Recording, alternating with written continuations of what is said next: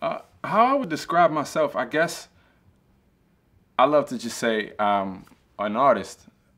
Uh, in depth, I'm an MC, I'm a producer, uh, I'm a consultant, I'm a tour booker, I'm self-managed, but uh, all in all, I make beats and I rhyme. Simply, simply put, you know.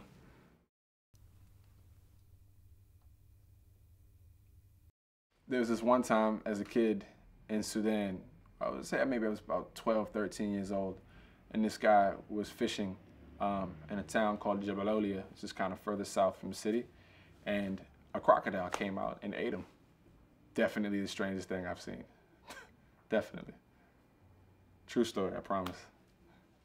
In 06, when I went, there were quite a lot of different personalities, and of course, the one thing we all had in common was music. But outside of music, there were some really peculiar individuals. You, you, get a lot of people who were probably really quiet and modest, some people who were really eccentric and outgoing. Uh, someone who I still keep in contact with today, uh, my good friend from Lisbon, he, he was a really wild individual who stayed up with me practically every night working on tracks.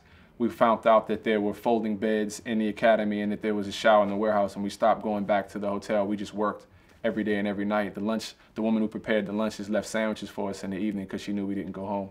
So shout outs to Tiago, he knows who he is.